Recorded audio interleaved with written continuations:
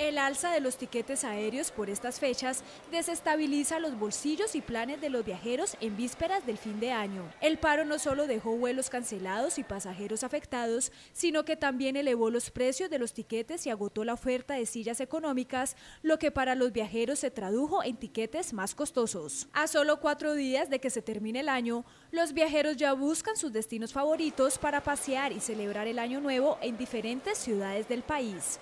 Muchos que acostumbraban a viajar por avión hoy prefieren aguantarse un viaje más largo por carretera, pero mucho más rentable para su bolsillo. Pues por motivos de costos me toca viajar en bus y aguantarme 10 horas. Los eh, pasajes aéreos están supremamente costosos. Entonces, eh, como vamos, somos seis miembros de la familia, entonces imagínense, si nada más por tierra vale 180, ¿cómo sería nosotros personal, ¿no? Cada tiquete. Seleccionando, buscando las, mejores aerolíneas, las que estaban más económicas. Y bueno, a la final se volvió incosteable el pasaje. Por la cuestión económica, pues prefiero viajar por terrestre. Algo se ahorra uno y más en estas épocas que suelen subir bastante los costos de los tiquetes.